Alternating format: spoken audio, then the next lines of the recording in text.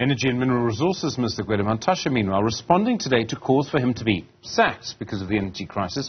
Calls have mounted from several organizations as Eskom continues to roll out various stages of load shedding. Mantashe spoke to Athi Mtongana. No, no, the president uh, responded to issues that were raised in the debate comprehensively and answered all the questions, but questions will not end because we are engaged in a debate in an ongoing basis. That is the function of parliament.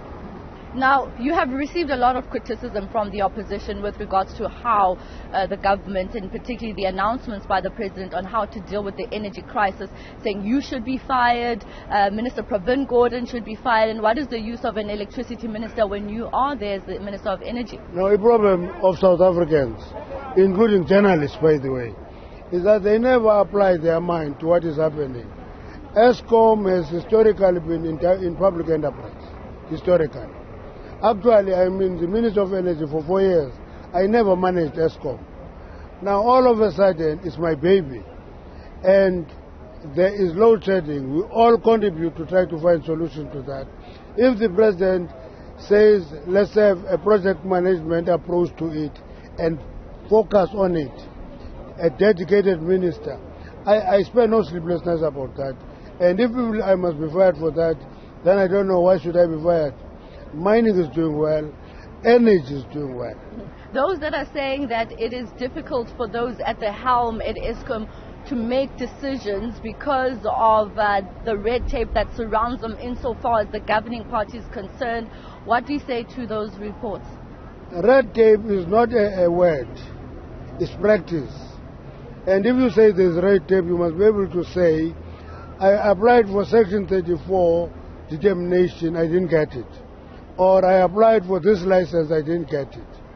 And if you, have, you didn't get it, I never received an explanation. Let me give you an example. Eskom has been allowed to get into renewables in the IRP in 2019. Eskom has been allowed to import energy. If they want more, we allow that to, to happen. But if they want to be a wholesaler of, of diesel, we say no.